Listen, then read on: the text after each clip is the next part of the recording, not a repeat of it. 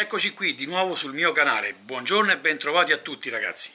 Questo breve video è il continuo del video precedente, quello dove facevamo la pulizia dell'impianto EGR. E come avevo detto appunto a fine video, la macchina andava bene, però c'è stata un, eh, una piccola breve storia triste, ovvero è vero sì che la macchina è andata bene dopo il trattamento fatto con quel famoso e magico spray, però eh, c'è un però, Qual è questo però? La sera siamo andati con Lupo a provare la macchina e ripeto andava bene, un treno, tutto quello che ci pare. Il giorno dopo vado a mettere in moto eh, la mia macchina e praticamente il primo eh, segno di anomalia, ovvero nessuna spia sul cruscotto, però la macchina strattonava. Cominciavo a camminare tra i 40 e i 50 all'ora tra gli 80 e i 90 all'ora si ripeteva, però dopo a lungo la macchina apparentemente sembrava andare bene. Giorno dopo giorno che succede? Che nel giro di 2-3 giorni, 4 giorni, la macchina ha cominciato ad andare veramente veramente male ragazzi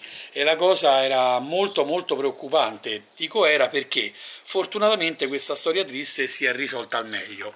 Che cosa è successo? Che eh, uscendo di casa un paio di mattine fa come vado a mettere la prima diciamo apposta proprio per spostarmi? A meno di 20 km h vado a inserire la seconda ha cominciato a singhiozzare. E non mi permetteva di accelerare e era un continuo singhiozzare appunto. Andavo a 30 all'ora a 40 all'ora stessa cosa. La macchina era fredda e che cosa succede? Che il primo chilometro chilometro e mezzo è stato un tutt'uno fare frizione gas, frizione gas e la macchina non andava, poi per fortuna ha cominciato ad andare un pochino meglio e però a 40, 50 all'ora, 70, 80 all'ora e si ripresentava il problema. Dopo aver fatto varie prove, varie verifiche, visto sempre sui forum, continuava a dare sempre lo stesso ed unico problema. Il problema era sui gas di scarico riciclati. E allora la valvola GR non è, il motorino della valvola GR non è, c'è un sensore. Questo sensore se lo cercate su internet credetemi diventate matti. Io vi parlo sempre per quanto riguarda Ford Focus TDCI 66 cavalli vapore, 90 cavalli all'interno mi era venuto un dubbio che io avevo sostituito un tubo ovvero questo tubo qui pochissimo tempo fa, non so se si vede, ok, questo tubo. Allora, questo è l'unico tubo che si ricongiunge al tubo EGR, passa qui dietro e va dietro alla nostra valvola EGR. Questo qui, lo spinotto andava bene, perciò gli unici due sensori che troviamo sono uno questo qua e uno questo qua. Qui andandolo a smontare troviamo un piccolo tubo che dovrebbe lavorare sulle depressioni credo perché c'è solo un piccolo tubo forato. Qui dentro invece troviamo un, un altro tipo di sensore e praticamente è un sensore, ecco la foto, ecco perfetto, questo è il sensore, la foto che state vedendo è del sensore che eh, parliamo, del sensore in questione.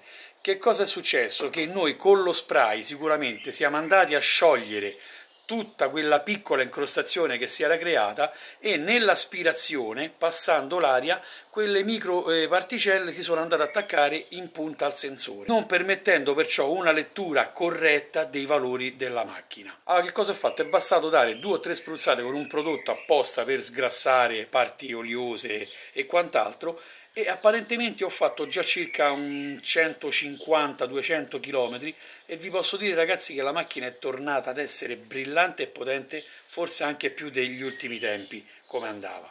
Perciò io nei forum ho letto problemi di cablaggio e problemi sensori di chissà che cosa parliamo. Ragazzi è bastato smontare un solo bulloncino estrarre quel sensore e pulirlo. Perciò non voglio dare eh, diciamo, arrivare a conclusioni affrettate come nel video precedente, incrocio le dita e spero che sia stato quello. Perciò prima di andare a smontare cablaggi, spinotti, sensori, aspirazioni e tubi, fate quella semplice prova. Non toccatelo con le mani perché mi è stato sconsigliato. Sfilate il sensore, una spruzzato o due di un qualsiasi detergente non troppo aggressivo, si può usare anche quello magari che posso dire quello per pulire i freni o le macchie sul motore, soffiate, non col compressore, l'ho soffiato così all'aria e l'ho rimontato. La macchina già da subito è tornata nella sua situazione originale.